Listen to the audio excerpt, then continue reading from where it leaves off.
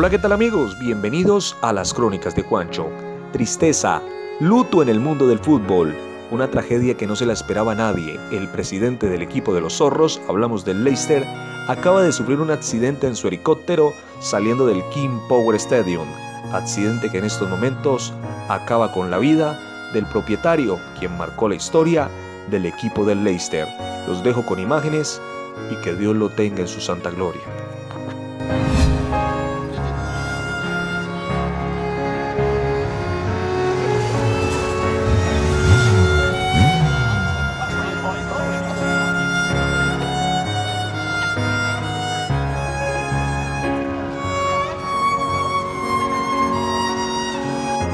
El mundo del fútbol es bastante complejo, pero si quieres estar enterado de todos los detalles futbolísticos, ¿qué estás esperando para descargar OneFootball? La mejor aplicación de todos los tiempos en sentido futbolístico, ya que te trae notas, alineaciones, las mejores noticias y todo lo relacionado con tus clubes favoritos. La puedes disponer en cualquier momento porque es totalmente gratis y está disponible para Android y para iOS. Link de descarga en la descripción de este video. Bueno amigos, y nos vamos a Alemania y es tiempo de irnos al estadio del Borussia Dortmund, que en condición de local tenía el partido prácticamente en el bolsillo y terminó cediendo dos puntos. La primera anotación llegaría por obra de Sancho en el minuto 27 para el Borussia Dortmund. En el 41, Salomón Kalou empataría el partido para el Hertha de Berlín. En el 65 aparecería nuevamente Sancho para poner el 2 por 1 pero terminándose el partido de pena máxima, Salomón Kalou pondría el partido 2 por 2. El Bayern Múnich también jugaba esta misma hora, en condición de visitante visitaba al Main 05, partido que ganó el equipo visitante. La primera anotación llegaría en el minuto 39 a través de León Goretzka.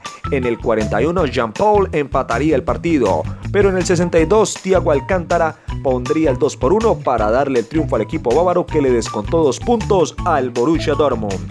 Tiempo de irnos a la Liga Española, jornada número 10 y el Atlético de Madrid recibía en el estadio Wanda Metropolitano a la Real Sociedad. La primera anotación del partido llegó en el 45 a través de Godín. En el 60, el lateral brasileño Felipe Luis pondría las cifras concretas para el 2 por 0.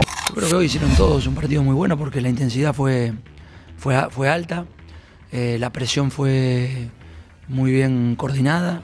Eh, pusimos, pudimos circular rápido en el medio, creo que Coque y Rodrigo, los dos, en la mitad de la cancha, nos dieron una mayor precisión a, la salida y creo que con Correa y con Saúl pudimos desdoblar bastante bien por los costados en el primer tiempo, nos faltó un poco de, precisión y frialdad en los últimos metros, pero la constancia, la insistencia y sobre todo la personalidad que tuvieron sobre todo Rodrigo y Coque en el medio nos dio mucha estabilidad en el partido.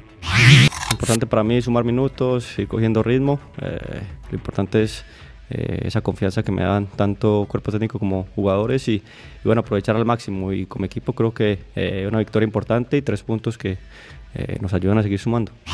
Siempre es importante trabajar y esperar el momento cuando entras y cuando entras hay que hacerlo bien como hizo Santiago. En mi caso fue diferente porque estaba lesionado un mes y medio, pero trabajé la última semana todo con equipo y ahora estoy perfecto para...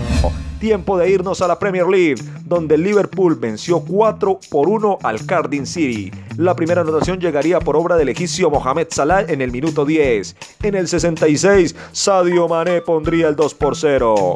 El descuento llegaría en el 77 por Peterson. En el 84, Shakiri, el suizo, pondría el 3 por 1.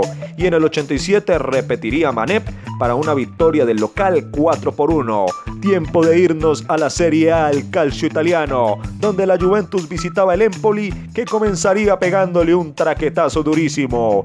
Caputo pondría el 1 por 0 a favor del equipo local. Había estrés en la Juventus y todos los hinchas del Nápoles rogaban por una derrota del conjunto de la Juventus, pero aparecería en el minuto 54 Cristiano Ronaldo para poner el partido 1 por 1. Y en el minuto 70, el mismo CR7 de gran manera le daría el triunfo al equipo de la vecchia señora, que en estos momentos es más líder que nunca. Bueno amigos, esto fue todo por hoy. No olvides suscribirte al canal, regálame un me gusta, deja tu comentario de forma respetuosa, no siendo más te digo, Dios te bendiga. Hasta la próxima.